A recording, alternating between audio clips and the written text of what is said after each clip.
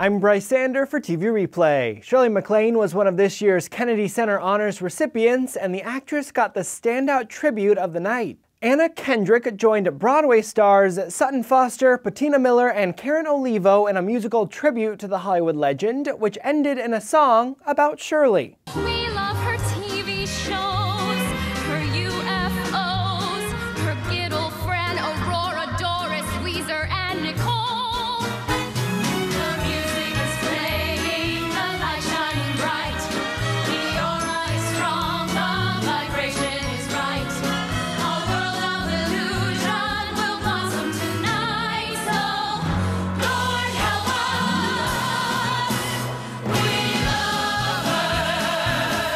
The New York Daily News called the Broadway medley a showstopper. MacLaine was honored alongside the likes of Billy Joel, Carlos Santana, Martina Arroyo, and Herbie Hancock.